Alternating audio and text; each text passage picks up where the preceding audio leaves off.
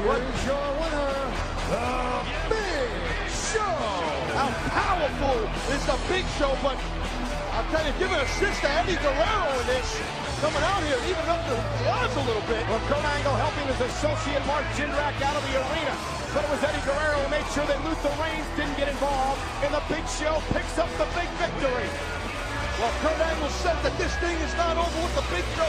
And if Angle said it's not over with the Big Show, it's not over with the Big Show. I buy it. I believe Kurt Angle.